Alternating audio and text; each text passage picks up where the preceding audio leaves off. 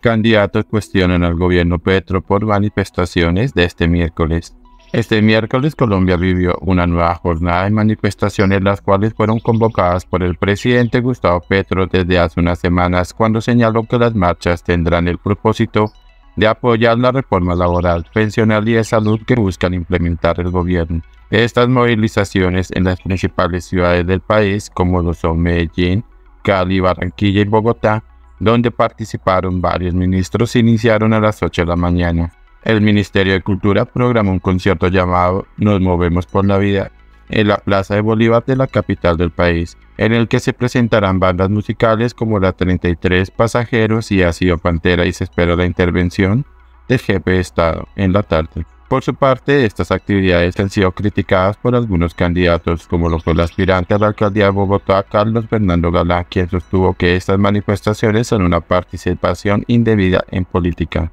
Esto fue lo que el presidente Gustavo Petro denunciaba cuando era senador y lo hacían otros gobiernos. Yo le pido al mandatario que no se meta en la campaña política, respete la democracia, manifestó Galán. De igual manera, otras personas en hablar sobre estas movilizaciones fue el candidato a la alcaldía de Bogotá, el general y director de la Policía Nacional,